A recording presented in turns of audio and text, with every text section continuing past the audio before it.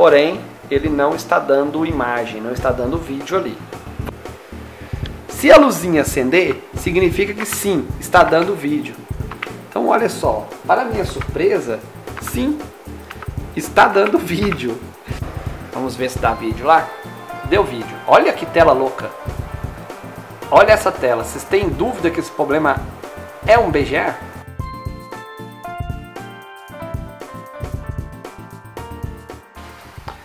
Olá pessoal, sejam todos muito bem-vindos ao meu canal. Meu nome é Rodrigo Lacerda e eu sou da Disque Recuperar.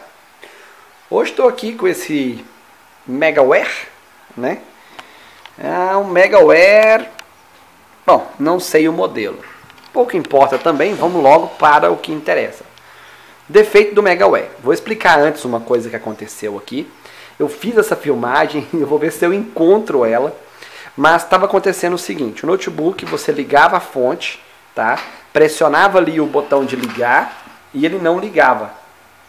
Aí, é, o que, que eu descobri? Se eu removesse aqui a bateria CMOS, removesse e ligasse ele, eu não lembro se agora se era uma vez na primeira tentativa ou na segunda, aí ele já dava imagem, já ligava. Ao recolocar a bateria, ele parava de ligar de novo. Deixa eu tentar aqui, porque eu não sei se eu vou achar o vídeo. Se eu achar o vídeo, eu corto essa parte aqui. Vamos lá. É... Ligando. Já até ligou. Quando ele está sem a bateria CMOS, ele liga por conta própria. Tá? Porém, ele não está dando imagem, não está dando vídeo ali. Né? É... Vamos desligar ele. Ali é o botão de desligar. Ó. Eita, deixa eu tentar aqui. Ó, desliguei, apagou a luz, zerou aqui. E agora vamos ligar de novo. Vamos ver se ele volta, porque ele parou de ligar dessa forma. Vamos ver se ele vai ligar. Vai nada. Ficou na mesma. Ele parou de ligar da forma que estava ligando antes. É, de toda forma, o que, que acontece? Quando eu, deixa eu ver que está oscilando demais a, a minha fonte, mas não, não vai dar não. Bom, aí ó, olha só. Quando eu colo, colo, é, colocava aqui a bateria CMOS, ele sequer liga. Eu acho que era isso mesmo. Vamos tentar aqui. Ah, se bem que agora ele ligou. Eu já não lembro mais. Eu sei que é um problema que não dá imagem. E, e tinha alguma coisa a ver aqui com a bateria CMOS. E agora me parece que já não tem nada a ver mais. Ele está ligado, eu vou desligar ele. Desliguei e vou ligar ele de novo. Deixa eu ver se agora ele vai ligar.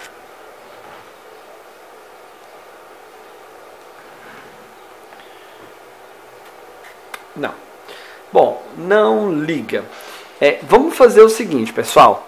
Eu vou, primeiramente, eu não sei se eu cheguei a mexer nessas memórias, se sim ou se não. Vamos fazer a análise aqui completa, né? Vamos esquecer que ele estava funcionando daquela forma. Tirei uma memória, vou ligar ele lá, ó. Liguei, tá? E aí vou ligar ele aqui novamente. Vamos apertar o botão. Pronto, ligou. Subiu. Minha fonte está no consumo de 1.2324 agora. Caiu para 1.09 e nada de dar vídeo. Ok. De toda forma, não vamos pular etapa. Vamos continuar aqui. Vou tirar agora essa memória. Ok? E vou colocar essa memória no slot de baixo. Isso aqui é para poder testar tanto a memória quanto o slot. Ok? Vamos lá. Ligando novamente. Agora dessa vez ele não ligou mais sozinho. E agora vou pressionar o botão aqui. Fonte está alta, 1.40, caiu para 1.24, 1.23, oscilando novamente. E nada de dar vídeo. Ok? Bom, vamos continuar. Vou desligar ali a fonte. Ó. E agora eu vou trocar aqui ó, o, o slot. Vou pegar a mesma, a mesma memória e vou colocar no outro slot que tem aqui. Beleza. E agora vamos tentar novamente. Ligando lá, ligando aqui. Ligou. Volta para cá, filho. É, 1.22, 1.23, ficando na mesma, pessoal. Ficando na mesma. Continuando. O que, que eu vou fazer? Eu vou retirar a bateria CMOS. Vai que agora ele volta a funcionar daquela forma que estava funcionando antes, né? Não tenho certeza, mas vai que dá, né? Ó, já até ligou. Quando tira a bateria CMOS, é muito estranho. Ele liga, ele fica num consumo lá de 1.02, já liga automático, mas continua não dando vídeo. E se eu não me engano era isso mesmo. Agora eu tenho que apertar aqui o botão, problema é que... Deixa eu apertar o botão aqui, pessoal. Vou só desligar ele.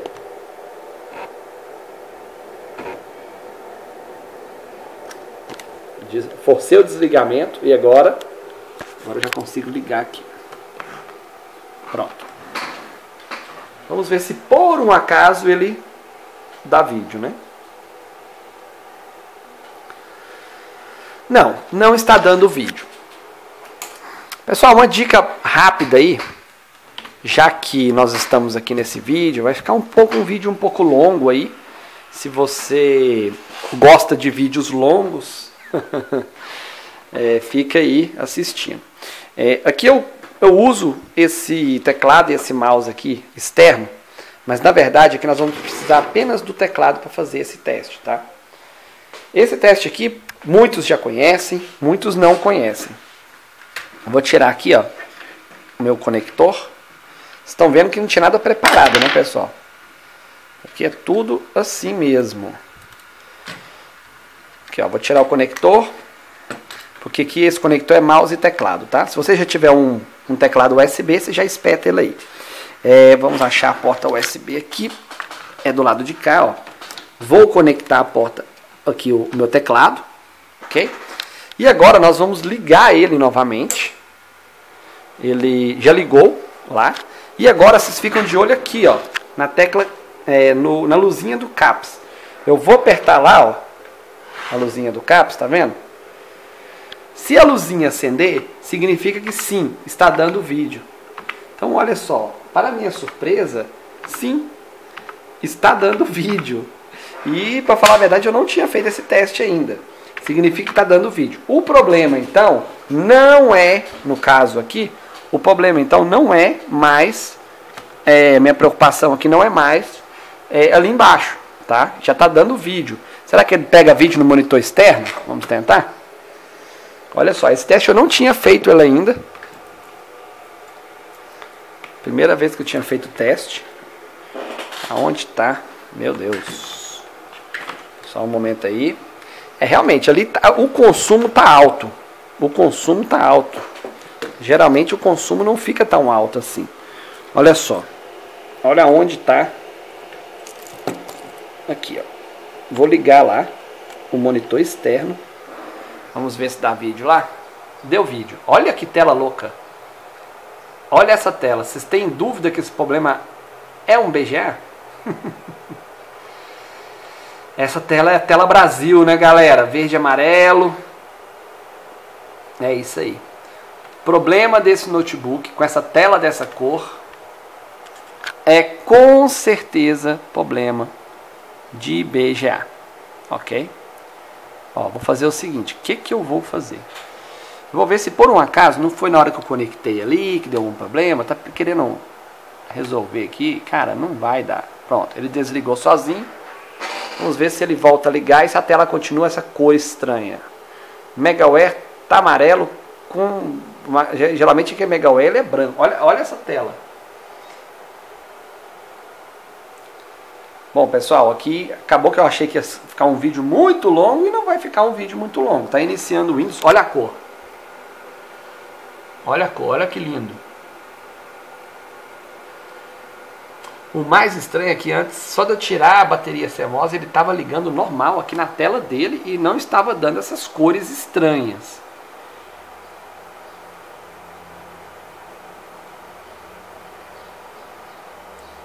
Ó, pro vídeo não ficar um vídeo perdido e um vídeo que não vai ter muita utilidade, eu vou fazer uma coisa. Eu vou desligar minha fonte, independente aí, tá? E vou mostrar uma coisa para vocês. Vou tirar aqui. Uma dica aí. Olha só, como eu disse, se a tecla Caps Lock acende, significa que está dando vídeo, não é? Então, vamos só fazer esse teste agora. Olha só, vou tirar uma memória aqui, ó. Vou tirar só uma memória. Quer dizer, ele tem duas memórias. Na verdade, eu vou tirar a memória dele, né? Porque estava só usando uma.